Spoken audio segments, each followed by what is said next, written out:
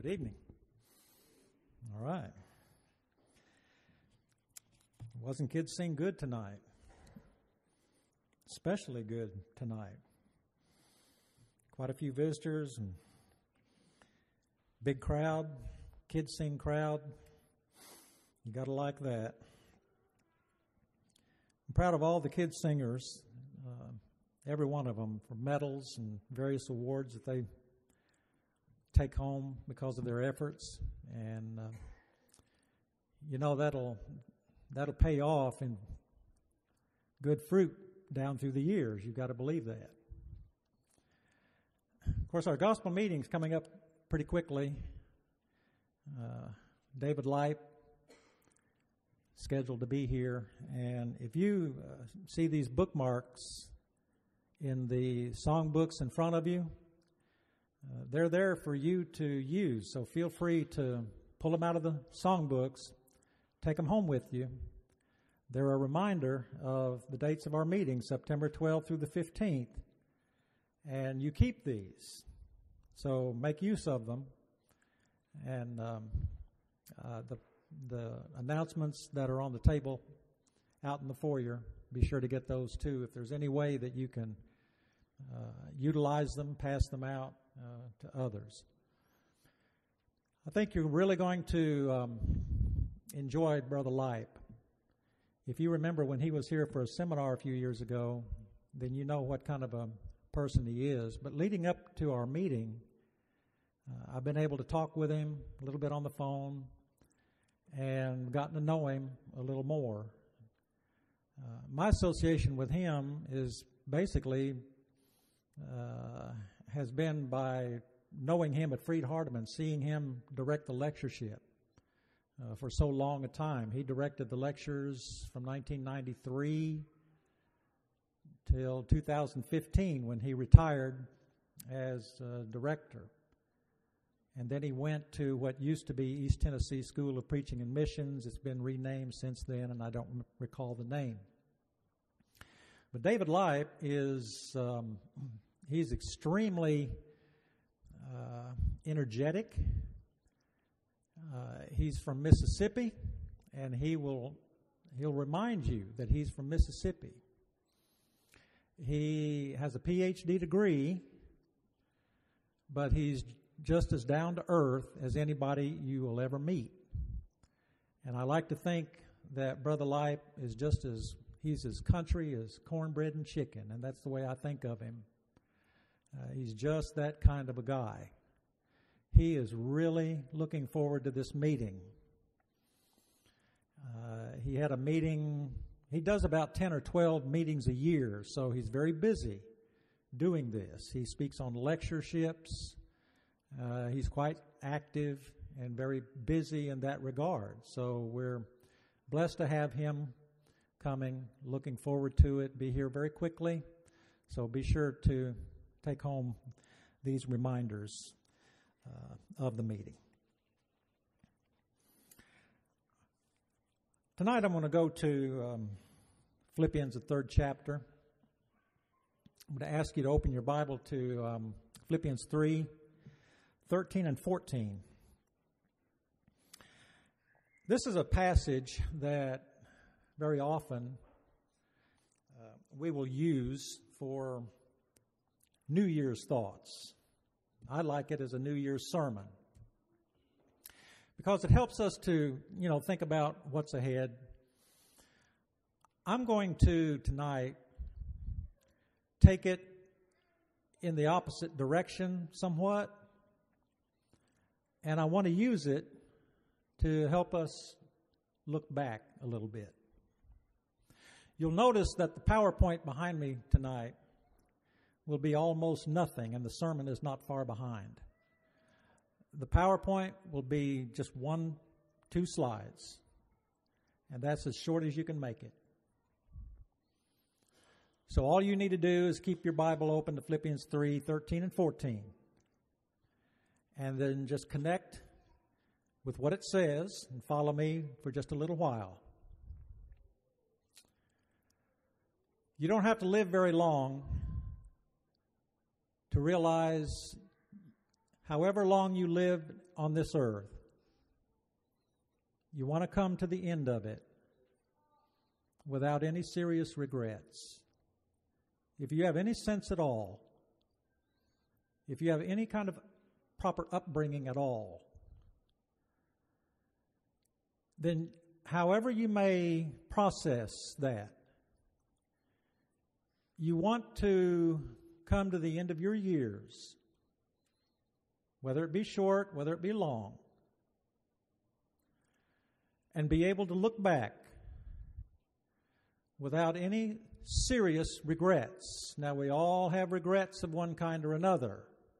I understand that. On the other hand, there are serious regrets that you have in life. And as, as Peter expressed it in 1 Peter 3 and verse 10, if you would love life and see good days,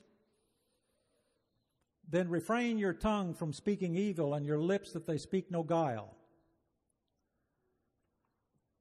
I doubt that there's a person living that in whatever way they may process it wants to see good in their life without looking back and having regrets about what they've done. But then, you know, life happens to people. Things happen. And you find yourself in situations that you never imagined. Things you never dreamed of. And yet, at the same time, there's a way out of all of that. I have to think as I'm going through this with you tonight. Yes, we want to avoid serious regrets. When we get older, we don't want to come to the end of life and bow our gray heads down in sorrow. Genesis 38 and verse 42. We don't, we don't want that. We want to be able to look up, hold up, hold our head up high, we want to be able to look people in the eye. We want to be able to smile. We want to look forward to a good future. We want to anticipate eternity with God in heaven. If we come to the end of our years, as we're getting older and we have regrets, and we look back and wish we'd done things differently. I'm going to underscore this lesson tonight with one thing that God's mercy is always there, and His grace is never to be forgotten. And that even if we do come to the end with, with serious regrets, you know, His grace is still powerful enough to cover me if I'm obedient to Him, I cannot forget His grace. I will not, under, I will not understate the importance of that. At the same time, I realize that we're like Paul here in Philippians chapter 3. We, we're running a race and we're not finished with it yet. And once in a while, we will look back and we will try to process where we've been and we will say woulda, shoulda, coulda. And that's the language of regret. And the regretters that talk that way go all the way back to Adam. So here we are tonight. And in a sense, we're sitting here and we're looking back and we say to ourselves, you know, I'm glad that I'm here tonight. I'm happy for the Sunday night association that I have with these wonderful Sunday night saints who love one another and who love to visit and fellowship, love to worship. And yet we look back in our own private world and we say, well, you know, there are so many things I wish I'd done differently. There are so many questions still hanging over my head?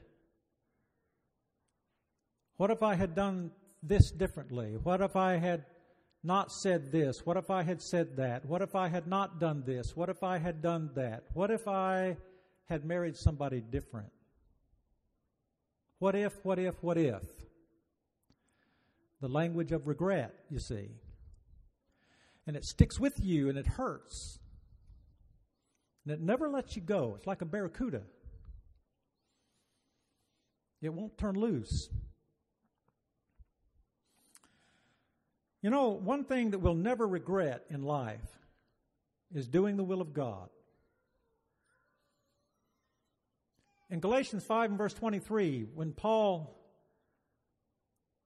covered the works of the flesh and then the fruits of the Spirit, and at the end of it, regarding the fruit of the Spirit, he said, and against such there is no law. In other words, you'll spend your life living according to the fruit of the Spirit, and you will never regret it. You'll never have cause to regret it. So I can take some comfort in that. And realize, you know, yeah, I, that's a pattern and a path that I, I can follow, and, and I don't have to bow my gray head down in sorrow. Again, Genesis 42 38, I think it is. And I don't have to wallow in, in sorrow at the end of it all. in Philippians uh, 3 13 and 14, Paul does a few things here. And again, I'm, I'm, yes, I'm looking forward with the passage, but I'm going to look back too. Because looking back, that's where the regrets are. They're always back there. But look what Paul does here in Philippians 3:13. And as we open our thoughts here, brethren, I do not count myself to have apprehended. And I use this thought to suggest to you that uh, Paul is not alone in this. And he's reaching out to the church at Ephesus, or Philippi, I'm sorry, and he's inviting these brethren to join in with him in this thought that I do not count myself to have yet apprehended. In other words, even as an apostle, Paul felt like, or it seemed to feel like, at least in the way I read this, that he has not yet accomplished all that he needs to accomplish. And I suspect that every person here could say the same thing tonight. You have much more that you want to do. So, in that regard, you are of course, looking ahead. And so he asked these brethren at Philippi, please to join him in this. That's what his quest is. Let's lock arms together in this quest. And we're not alone in this. And I know that everybody has their own story. You have your own story of what's happened to you and regrets that you may be harboring in your heart. I understand that. But in, in, in spite of it all, please remember that there are others who have been there and done that. There are people who have cause to regret things in life. And sometimes, and I know Christians who have been years away from the Lord and they have done things they regret, but they're back now and they're trying to overcome years of mistakes and misdeeds and sin. They're trying to turn things around. And they've come back because they don't want to be alone in this quest. They need help, and we need to support one another. But whatever you see as you look back in your life and whatever regrets there may be, please realize that your story is not the only one. There are other stories too. And I think of Esau over here in Hebrews chapter 12 and in verse 17. Esau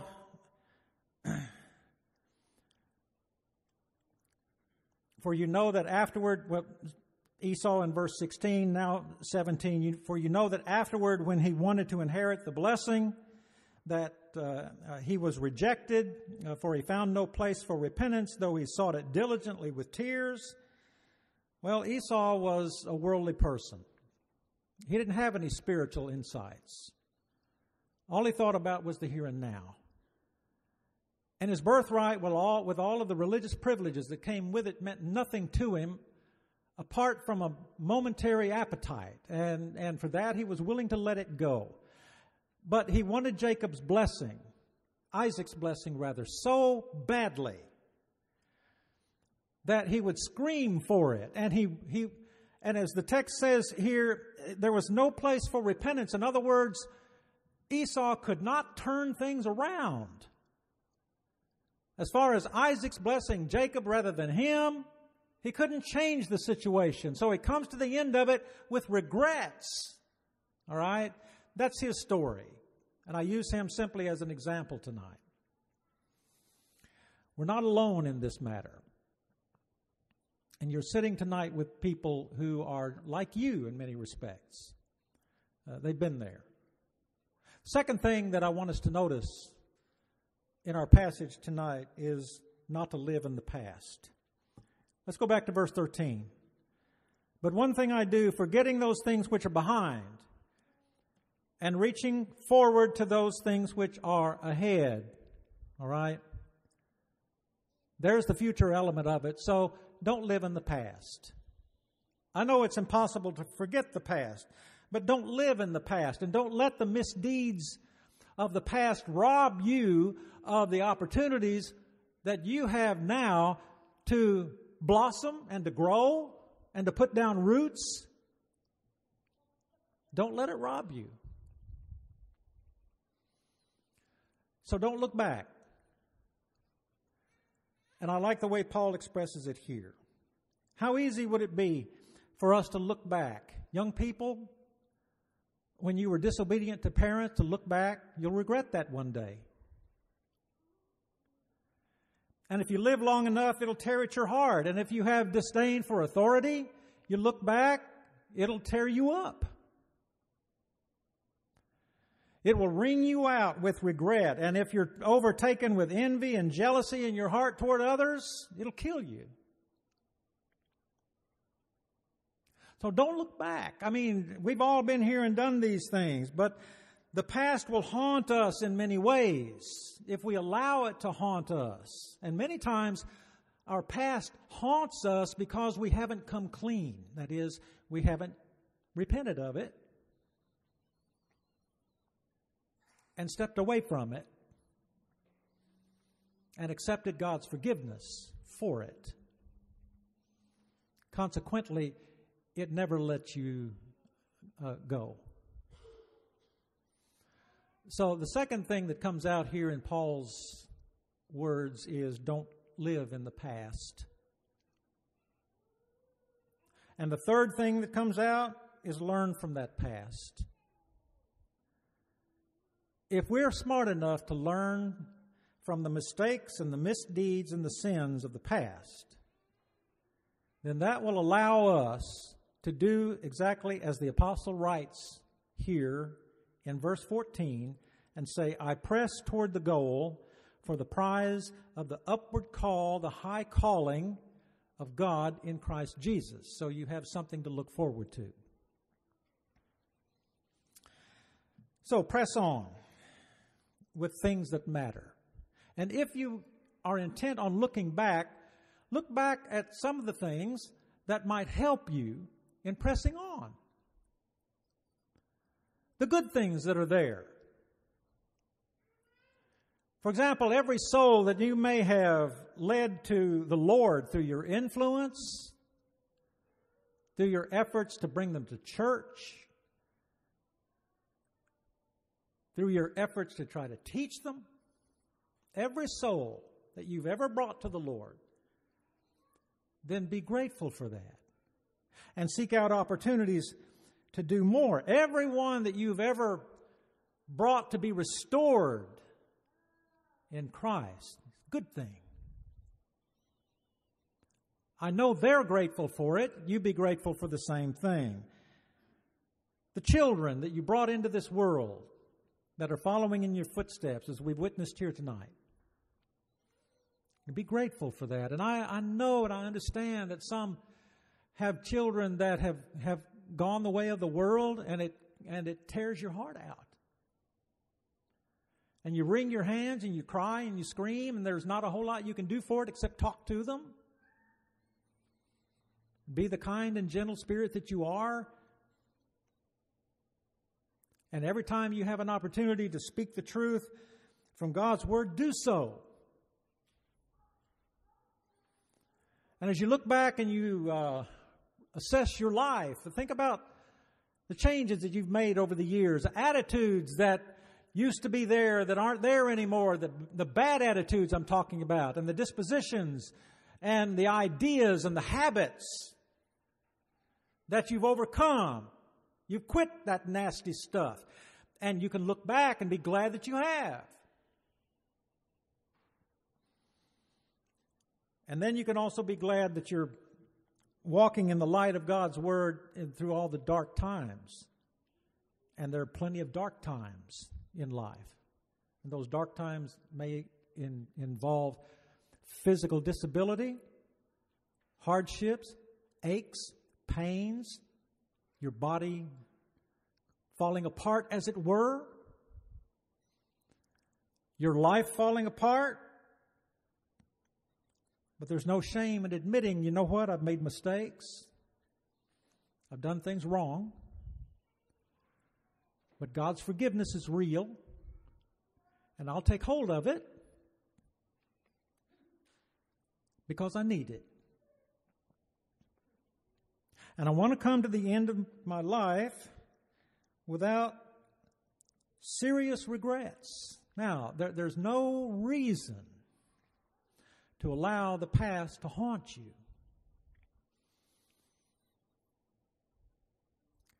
Because of the opportunities that we have to have that past taken care of.